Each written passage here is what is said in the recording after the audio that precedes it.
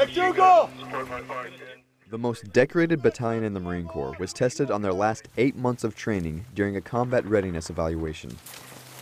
The Marines with 2nd Battalion, 5th Marine Regiment patrolled hills, creeks, and cleared combat towns during the live fire exercise aboard Camp Pendleton, September 12th.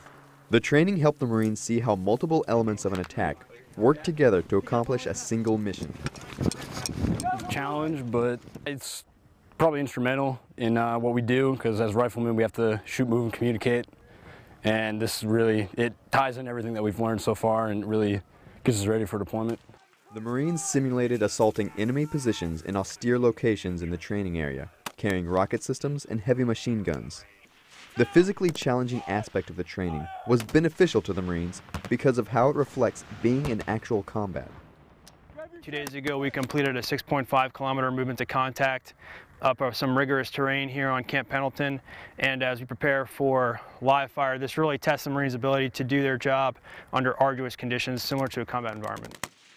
The training prepared the Marines for their upcoming deployment with the 31st Marine Expeditionary Unit and for future operations. Reporting from Camp Pendleton, California, I'm Lance Corporal Christopher Moore. Hurry up, let's go! Hurry up, shoot him!